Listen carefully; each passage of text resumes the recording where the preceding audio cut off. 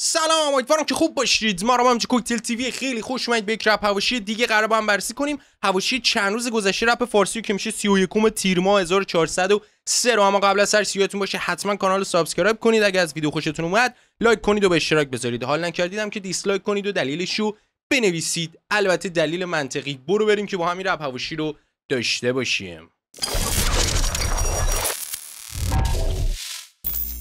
یه خبری که این چند روزی داره میچرخه اینه که چرسی هم مجوز گرفت. چرا؟ خب دیدیم که یه تیزری منتشر شد ازش با رضا صادقی. رضا صادقی هم قبلا کار کرده بود با چرسی. توی اسکیت آلبوم دام ما داشتیم صدای رضا صادقی رو و حالا تیزر موزیک جدیدشون رو با هم دارن میدن و منتشر می‌کنن و مجله بیلبورد. من خیلی اطلاعی راجبشون ندارم اما بعضی از رسانه ها میگن که آقا ایشون یعنی این رسانه وابسته است. رسانه بیلبورد. یک پستی زده بود راجب اینکه ددان حمید صفت و جناب آقای چرسی مجوز گرفتن. صحبتی که یک سال پیش راجبش حرف زدیم که احتمال اینکه ببینید خیلی ها دارن مجوز می‌گیرن هست. ددان که تو همین 7 ماه گذشته خیلی از رپرها رو آنفالو کرده بود و اولین آهنگش هم با علی یاسینی که اونم یک خواننده مجوز داره منتشر شده بود و همین فکر می‌کنم توی یک ماه گذشته بود. از اونورم که حمید صفت از گذشته که اولین رپری بود که اسم حکومتی و وصل رو اوورد و صفتی بود که با حمید صفت شکل گرفت از همکاری با جناب آقای امیر عباس گلاب اگه اسمشو درست بگم تا اینکه حالا الان تیزر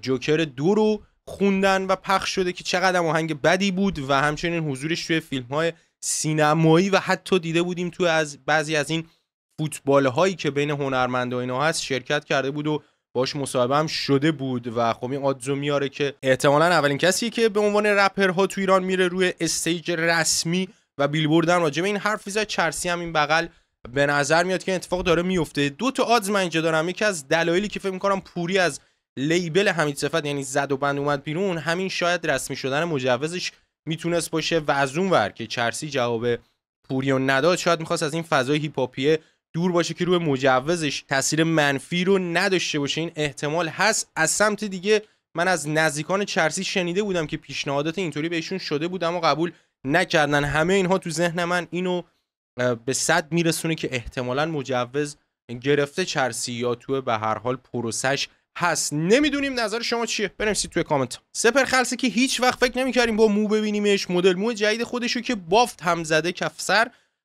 پست کرده بود تو اینستاگرام. نکته جالبش این بود که سروش هیپهاپولوژیست نوشته بود عمو سپی ما کچلا رو دور ننداز که با یزید تو از خلصه روبرو شده بود.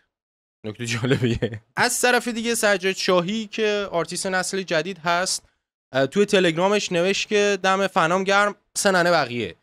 یعنی واقعا دمت گرم. یعنی به جز اون صد هزار نفری که تقریبا میشناسنه سننه بقیه ایران دیگه. نمی‌دونم. بعدا البته اینو پاک کرد اومد نوشت ایره چیزا تو بدخواه طرف داره. جالبه. میریم سر وقت هات ترین هواشی این چند روز اونم درگیری های لفظی هیچکس و بهرام بود توی توییتر. حالا از کجا شروع شد؟ قوقا که خانوم بهرام خیلی بهش میگن و با این اسم می‌کنن.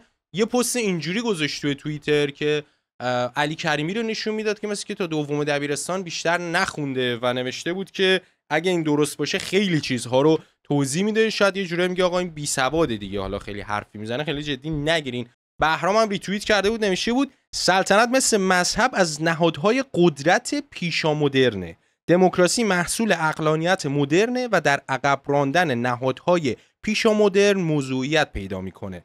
به همین دلیله که ما سلطنت طلبی رو در تضاد با ایده های دموکراسی خواهانه می‌دونیم و اون رو تحت مخالفان دولت ملی مدرن دستبندی می‌کنیم. هشتگ زن زندگی آزادی.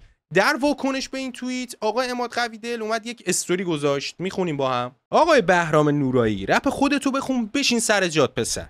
تو این حالت که سرمون درد گرفت یا پایین. داری سوئد عشق و حال می‌کنی میای میگی سلطنت جلوی دموکراسی رو می‌گیره؟ چرا از سلطنت سوئد ناراضی نیستی پس؟ هوا چطوره اونجا؟ 18 سالت بود آهنگ میخوندی که دختر بردیم تو خرابه ها به زور فلان کردیم. ما گنگیم. به کلی دختر تجاوز کردیم. الان واسه ما روشن فکر شدی؟ از دموکراسی میگی پلشت. بشین سر جاد به زن مجاهدتم بگو. اندازه دهنش حرف زنه زور شما به تعداد ما نمی‌رسه. خودتون خسته نکنید نکته اول مگه زن هیچکس نبود می‌گفتن مجاهد؟ زن هر چی رپره چرا مجاهد می‌کنید؟ من اینو نمی‌فهمم. دوم آقای اماد قویدل اگر بریم یه سرچ بکنیم که اصلا سوئد داستانش چیه با همچین چیزی وقتی می‌نویسی حکومت سوئد تو اینترنت با این روبرو میشی. میگه حکومت کشور سوئد پادشاهی مشروطه است و دولت در آن به شکل پارلمانی اداره می شود پادشاه در این کشور مقامی تشریفاتی است و کشور را نخست وزیر اداره می کند پایینتر که میریم نوشته سوئد جایگاه خوبی در جنبه های گوناگون ملی مانند مردم سالاری کیفیت زندگی آزادی بهداشت آموزش و بهداشت البته و غیره رو داره. یعنی یک رپری که می‌خوای اعتراضی داری می‌خونی و می‌خوای که درست بشه همه چی بدون اینکه تحقیق بکنیم یا یه حرفی می‌زنی موزه می‌گیری به تعداد ما نمی‌رسی. بعد از اون بر آقای اماد قویدل فکر کنم اینجوریه که چون مثلا من بچگی هم 4 5 سالم بوده تو جام جیش می‌کردم الان نباید حرف بزنم چون تو جام جیش می‌کردم. یعنی بلوغ فکری بلوغ رفتاری اینها جایگاهی نداره و اینقدر دیکتاتورانه بشین ما درست میگیم. یعنی چی آقای ماده قوی دل من شما خودت ضد این چیزا نمی‌خونی؟ بعد از اون ور شما فکر می‌کنید یک ایرانی که از کشور خارج میشه واسش فرش قرمز پهن کردن هر کشوری خواست بره. بعضی ها به زور تو بعضی از کشوران چون به زور تونستن برن. اونجا به این راحتی هم نیست با پاس ایرانی هر جا رفتن اقامت گرفتن موندن و این داستان ها و یک رپری که ادعای روشنفکری داره و دنبال یک راهیه چجوری می‌تونه انقدر خودش دیکتاتور باشه و انقدر بدونی که فکر بکنه حرف بزنه. قبل از اینکه این چیزها رو بگید یه لحظه فکر کنید. برای چی؟ برای اینکه آقا شما داری اجتماعی می‌خونی بعضی ها می اومدن می‌گفتن اینها بی سوادن و فقط دارن یه چیزی می‌خونن مخالفت فقط دارن می‌کنن. با همه چی هم مخالفت می‌کنن. شما با این رفتارتون به حرف اونا رنگ بوی حقیقت می‌دید. پس قبل از اینکه عصبانی بیاید اینو دشمنی کنید بذارید کنار. از اونورم که شما خودت یه چیزی بین یاس قدیم و بهرام قدیمی. پس از اینها الهام گرفتی. اینجوری میای می‌گیری روشون. اصلا خیلی عجیبه. یعنی اماد قویدل یه کرکتریه که تو رپ فارسی فقط میاد بین اون بپره. و یه کوچولو اصلا نمی‌دونم چی بگم. بریم ادامه. سروش چی از اون توییت اولیه بهرامو که خونیم ریتوییت کرد نوشت پهلوی اسلش پادشاه ستیزی اون هم وقتی نیروهای ملی کمن و ایران در جنگ یک نیروی تروریستی اشغالگره چیزی جز لجبازی و امتداد 57 نیست. پادشاهی الزاما با دموکراسی منافاتی نداره چنانچه یک جمهوری هم تضمینی برای دموکراسی نیست. پرچمای سرخ رنگتون از جیباتون درارین تا تکلیف ها روشن بشه. جناب آقای بهرام هم اینو ریتوییت کرد نوشت سیر تاریخی کشورها رو باید ببینید. مثلا فرایند دموکراسی در آمریکا، انگلیس، فرانسه و سوئد که تاریخاش هم نوشته بود دارید می‌بینید. از مسیر محدود کردن قدرت پادشاه آغاز شده و به شکل امروز رسیده.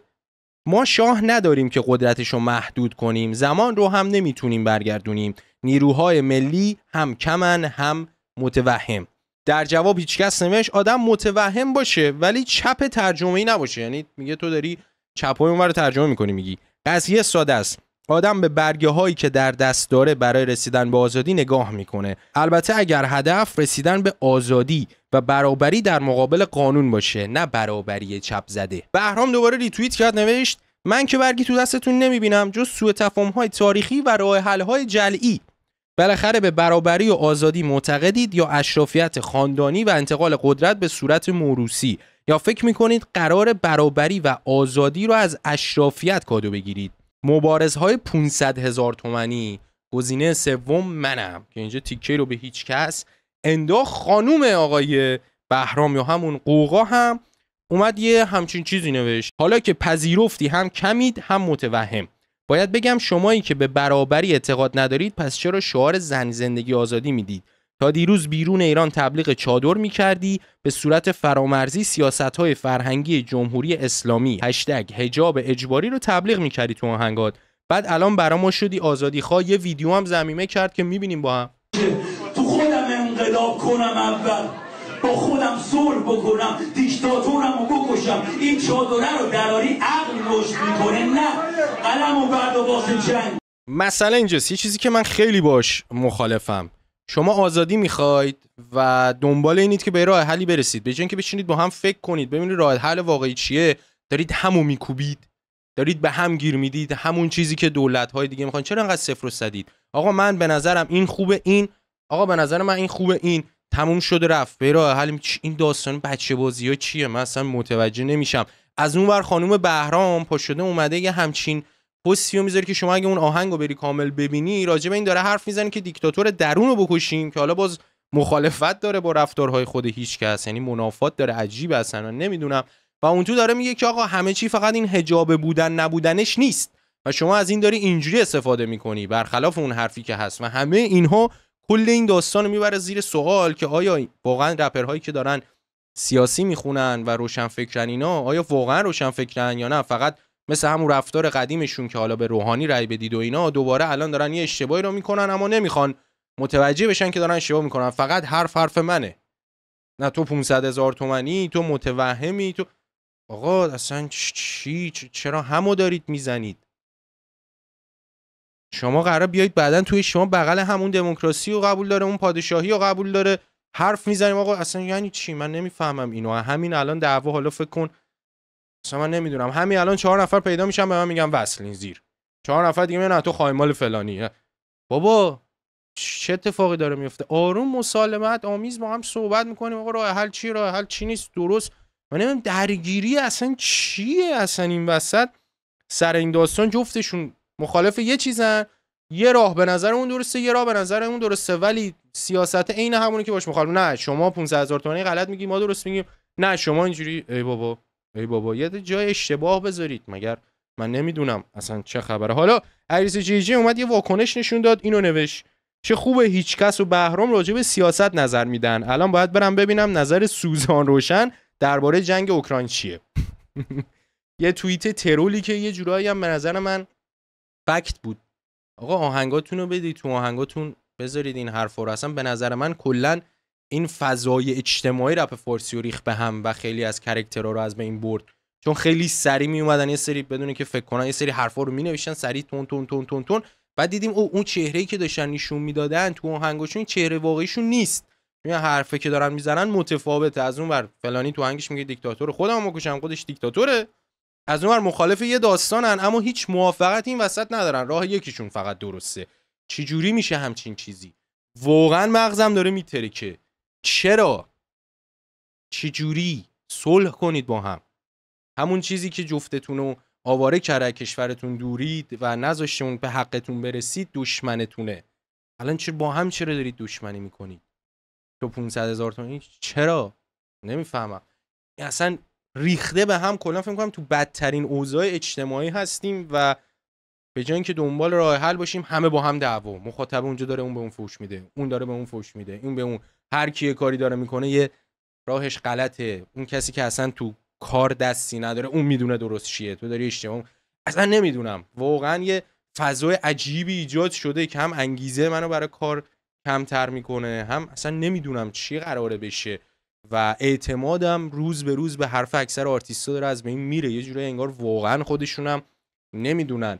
یعنی از اون ور اماد قویدلی که رپر اجتماعیه و موزله های اجتماعی رو می‌خواد حرف بزنه. انقدر کوتاه فکرانه یه تحقیق نکرده که آقا راجع به چیزی که من دارم از حرف زنم چیه؟ فقط بشین سر جات پلشت. بعد میگن فلانجا آقا میگه همینی که اصلا می‌خوای جمع کن برو. خب چه فرقی کردی با اون؟ مخالف چی؟ یکم این حرفا رو با هم نه اون حرفایی که می‌زنید خودتون زندگی کنید. ننویسید رو کاغذ فقط.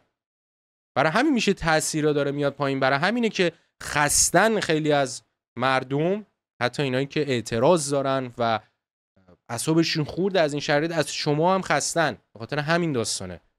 برای اینکه مثل همون که رئیس جمهور میاد میگه من چه می‌دونم بنزین گرون شد؟ شما هم یه کاری می‌کنید دو سال میگه من چه بچه بودیم؟ دوباره ولی سیاست همونطوریه فقط راه من. اصلا.